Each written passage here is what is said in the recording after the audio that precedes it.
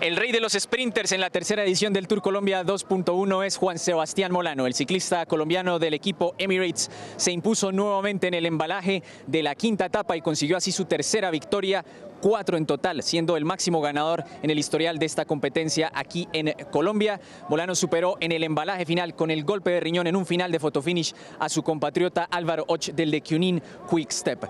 Escuchemos justamente las palabras de Molano hablando cómo fue este tercer embalaje para llevarse esta victoria aquí en Zipaquirá, tierra natal de Egan Bernal.